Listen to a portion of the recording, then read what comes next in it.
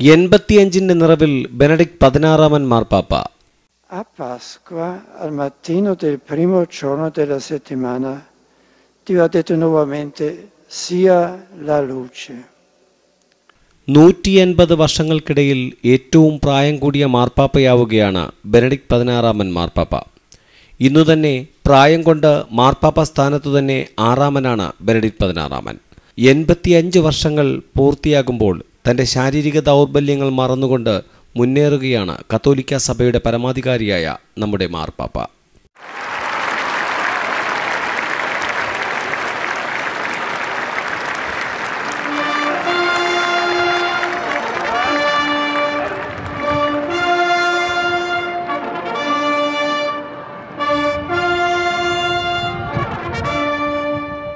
Messe Christenschafts Christ, be with you all. benedictio Dei omnipotentis, Patris et Filii et Spiritus Sancti, descendat super vos et maneat semper.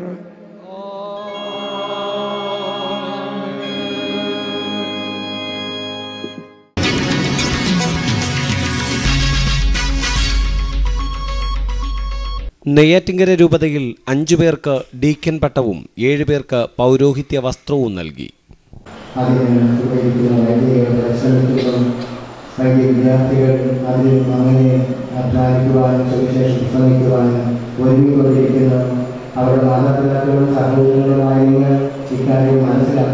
ചെയ്യണം. ജീവിതം നയിക്കുവാനും നിങ്ങളും ഹൃദയ പരമാർത്ഥതയോടെ നിങ്ങളും ക്രിസ്തുവിന്റെ വിശേഷം ഹൃദയത്തിൽ സ്വീകരിക്കുവാൻ അപ്പോസ്റ്റലന്മാർ ആദിമസഭയിൽ അത് മറ്റുള്ളവരോട് പ്രസംഗിച്ചതുപോലെ നിങ്ങളും നിങ്ങളുടെ കുടുംബാംഗങ്ങളോടും സഹോദരങ്ങളോടും അയൽക്കാരോടും പ്രസംഗിക്കുവാൻ സന്നദ്ധരാകണം. നിങ്ങൾ ഇത് ചെയ്യുമ്പോൾ വൈദിക വിദ്യാർത്ഥികൾക്കും വൈദികർക്കും സഭയിലെ ശുശ്രൂഷകളിൽ വ്യാപൃതരായിരിക്കുന്നവർക്കും ഏറ്റവും വലിയ ശക്തിയാണ് നെയ്യാറ്റിങ്കര രൂപതയിലെ അഞ്ചു പേർക്ക് ഡീക്കൻ പട്ടവും ഏഴു പേർക്ക് പൗരോഹിത്യ വസ്ത്രവും നൽകി. നെയ്യാറ്റിൻകര ഭദ്രാസന ദേവാലയത്തിൽ നടന്ന ചടങ്ങിൽ രൂപതാമത്രാൻ അഭിമന്യ വിൻസെന്റ് സാമുൽ പിതാവ് brother Suresh Babu brother Shibu brother Ajeesh Das brother Robin Peter brother Robin Raj തുടങ്ങിയവർക്ക് ഡീക്കൻ പട്ടവും ഏഴുപേർക്ക് പൗരോഹിത്യ വസ്ത്രവും നൽകി. ചടങ്ങിൽ monsignor G Kristhudas chancellor doctor Selvaraj clergy and religious director father Vincent K Peter തുടങ്ങിയവർ പങ്കെടുത്തു. സുവിശേഷ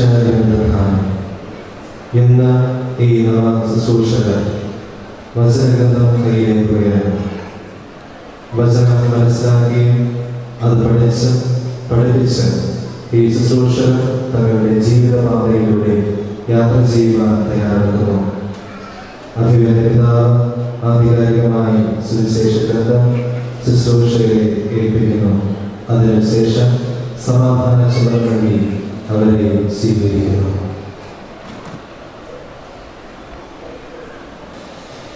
Brother Benedict G. David, Brother Junior Vargas, Brother Christian C. G., Brother Redrish Marcos, Brother Shahid Jukaran, Brother Shahid G., Brother Srijit S.,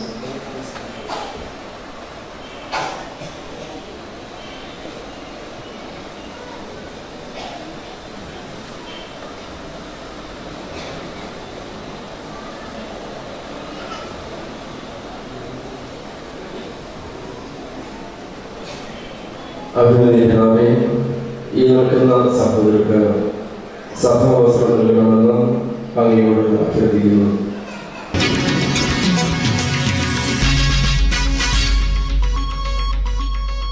Nedumangad forane Bible കലോത്സവം സമാപിച്ചു.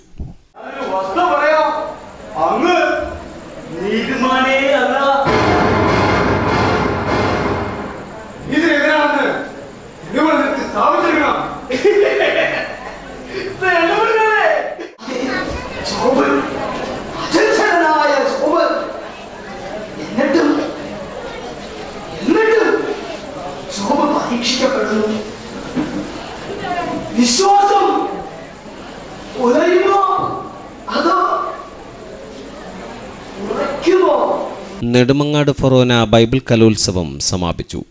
കലാമത്സരങ്ങളിൽ വട്ടപ്പാറ ഒന്നാം സ്ഥാനവും മാണിക്യപുരം രണ്ടാം സ്ഥാനവും അരുവിക്കര മൂന്നാം സ്ഥാനവും നേടി. സമാപന സമ്മേളനത്തിൽ father Shajkumar father Sunil Capuchin തുടങ്ങിയവർ പങ്കെടുത്തു. മാണിക്യൂർ ഇടവകയെ ആ, അഭിനന്ദിക്കും അവർക്ക് നന്ദി പറയുവാൻ ആഗ്രഹിക്കുകയും ചെയ്യുകയാണ്. ആതിഥേയർ എന്ന നിലയിൽ ഒരുപക്ഷെ മറ്റു ഒരു ഇടവേക്കും ഉള്ളതിനേക്കാൾ നമ്മുടെ ഫൊറോനയിലെ ഏത് പള്ളികൾ നോക്കുകയാണെന്നുണ്ടെങ്കിൽ സ്വന്തം സ്ഥലത്ത് വെച്ച് ഒരു കലോത്സവം നടത്താൻ സാധിക്കുന്നത് ഇവിടെ മാത്രമാണ്. ഇത്രയെങ്കിലും സാഹചര്യങ്ങളുള്ളത് ഇവിടെ മാത്രമാണ്. അതുകൊണ്ട് തന്നെ ഈ പരിമിതമായിട്ടുള്ള സൗകര്യങ്ങൾ ഇത്രയും വലിയ ഒരു കലാമേള സംഘടിപ്പിക്കുന്നതിന് ഒരുപാട് ഒരുപാട് ത്യാഗപൂർണമായിട്ടുള്ള പ്രവർത്തനങ്ങൾ നടത്തേണ്ടതുണ്ട് ആതിഥേയർക്ക്. അത് വളരെ സന്തോഷത്തോടു കൂടി നിങ്ങൾ ചെയ്തു വളരെ ത്യാഗപൂർവം ചെയ്തു.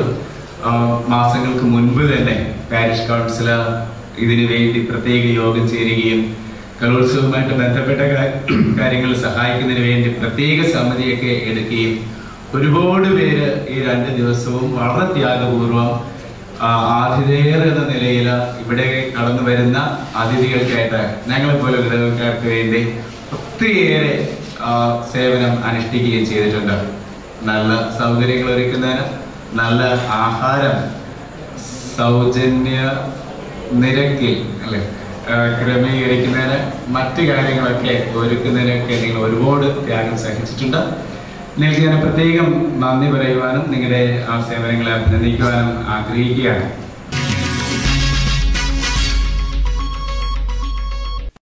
ചെട്ടിക്കുന്ന് തിരുഹൃദയ ദേവാലയത്തിൽ അഭ്യുവിന്റെ പിതാവ് ഔദ്യോഗിക സന്ദർശനം നടത്തി.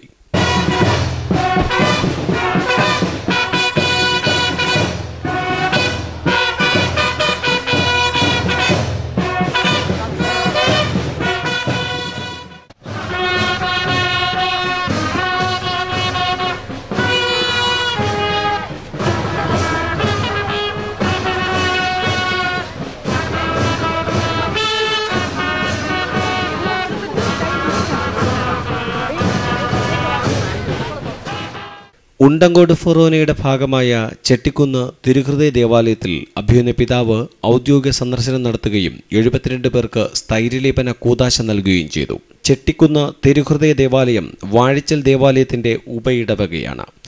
നൂറ്റി അൻപത് കുടുംബങ്ങളുള്ള ദേവാലയത്തിൽ ആറ് ബി സി സി യൂണിറ്റുകൾ പ്രവർത്തിക്കുന്നു. പിതാവിന്റെ ഔദ്യോഗിക സന്ദർശന പരിപാടിക്ക് ഇടവക വികാരി ഫാദർ സാജു സെബാസ്റ്റ്യൻ നേതൃത്വം നൽകി.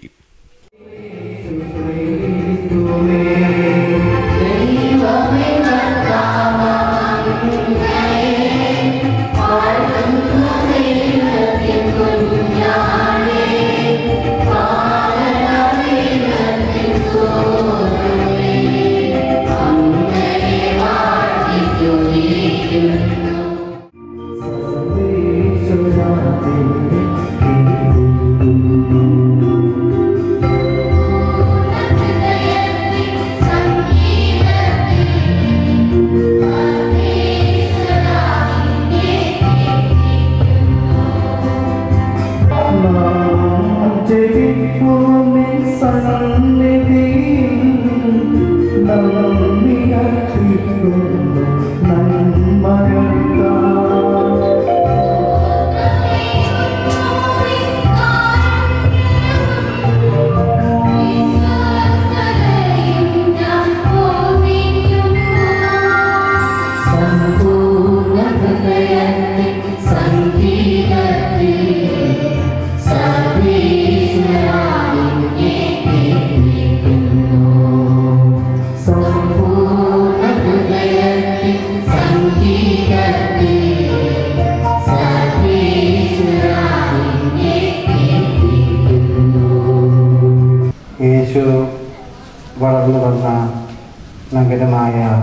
നസ്രത്തിൽ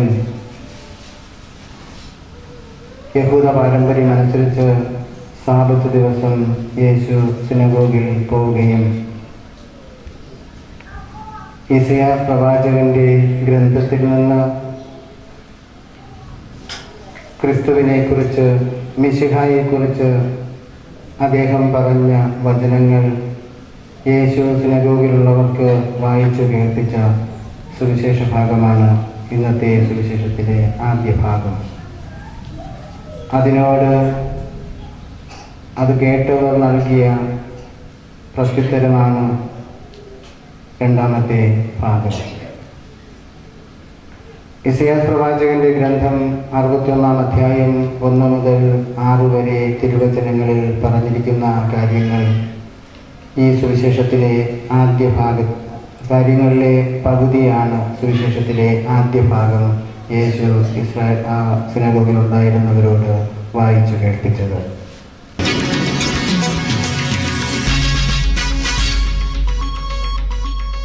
സിസ്റ്റർ ജയന്തി നിത്യവ്രത വാഗ്ദാനം ചെയ്തു.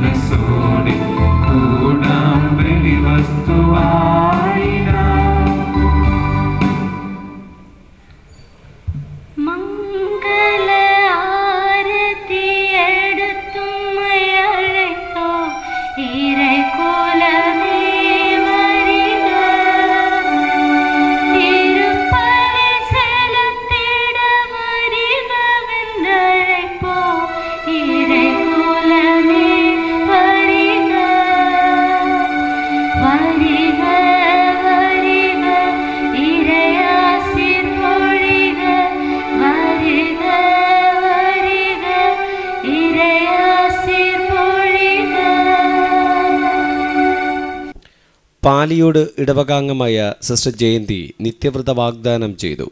പാലിയോട് ഇടവകയിൽ നടന്ന കൃതജ്ഞതാ ബലിയിൽ സഹോദരനും കുളവുപാറ ഇടവക വികാരിയുമായ ഫാദർ എം കെ ക്രിസ്തുദാസ് മുഖ്യ കാർമ്മികനായിരുന്നു. പള്ളോട്ടിയൻ സന്യാസ സഭയിലാണ് സിസ്റ്റർ പൂർണമായും തന്നെ സമർപ്പിച്ചത്.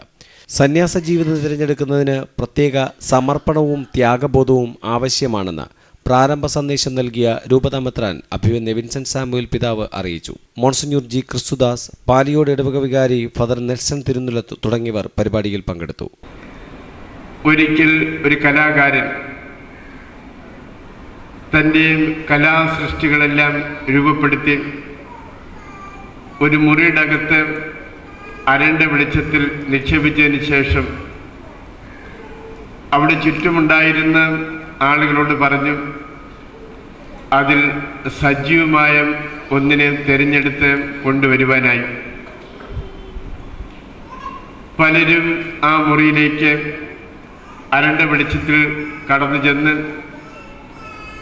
ഓരോരോ രൂപങ്ങളെ എടുത്ത് കുറേ രൂപങ്ങളാണ് അദ്ദേഹം രൂപപ്പെടുത്തിയും രൂപപ്പെടുത്തി ആ മുറിയിൽ വെച്ച് സൂക്ഷിച്ചിരുന്നത്. ഓരോന്നായി അവരെടുത്തുകൊണ്ട് വന്നു. എന്നാൽ ആ കലാകാരന് അതിനൊന്നും തൃപ്തി വന്നില്ല. അവസാനം ഒരു മനുഷ്യൻ ആ മുറിയിലേക്ക് പ്രവേശിക്കുകയും കുറേ നേരം കഴിഞ്ഞതിന് ശേഷം അവിടെ ഉറങ്ങിക്കിടന്ന ഒരു കൊച്ചുകുട്ടിയെ അദ്ദേഹം എടുത്തുകൊണ്ടുവന്ന് ഈ കലാകാരന് മുമ്പിൽ നൽകി എന്നാണ് പറയുക. ആ കലാകാരന് സന്തോഷമായി. സജീവമായ ഒന്നിനെ തിരഞ്ഞെടുത്തു കൊണ്ടുവരുവാനാണ് ആ കലാകാരൻ അവരോട് ആവശ്യപ്പെട്ടത്. സജീവമായ ഒന്നിനെ തിരഞ്ഞെടുത്ത് കൊണ്ടുവന്നപ്പോൾ അയാൾക്ക് സന്തോഷമായി. ഈ തിരഞ്ഞെടുത്ത ആളിനെ ആ കലാകാരൻ അഭിനന്ദിച്ചു. ഇന്ന് നമ്മുടെ എല്ലാവരുടെയും അഭിനന്ദനങ്ങൾക്ക് അർഹയായി സിസ്റ്റർ ജയന്തി നമ്മുടെ മധ്യം ഇവിടെ ആയിരിക്കുകയാണ്.